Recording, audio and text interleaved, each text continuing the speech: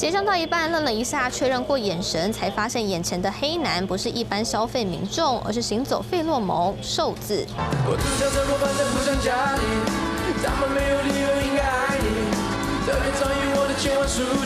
歌词创作充满自我风格，堪称新一代年轻饶舌天才。瘦子凭借个人魅力吸粉无数，却有超商店员不但上班到一半化身粉丝，甚至还外流店家监视器，跑网炫耀。我觉得我这辈子活着值得了。因为他已经脱去他呃工作的那一个偶像的那一层，所以还是应该给他一个人的尊重。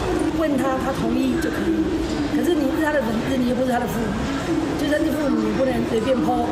我孩子的照片啊什么的，对不对？贴文一出，引发热议，袁鹏似乎也发现代机短掉了，赶紧把影片下架。对此，当事超商回应，为了保护客户隐私，监视器画面不得私自翻拍外流。此个案为兼职人员不当行为，已经暂停排班，加强内部教育训练。只是类似的案例还不止一桩。这个事情现在调查之中，警察这边也是在调查，我们公司现在也在调查。台湾天后蔡依林日前展开世界巡回演唱会，没想到在中国重庆私下搭地铁影片，却疑似遭到内部人员刻意外流。我光凭这些影像就可以来判别这个人是谁，这是属于个人资讯的部分。如果把这个个人资讯放到网络上的话，就有可能侵害个资，那最重可能是要处五年以下有期徒刑的。巧遇偶像机会难得，但如果在大庭广众下擅自拍摄还曝光，还是有可能因此吃上官司。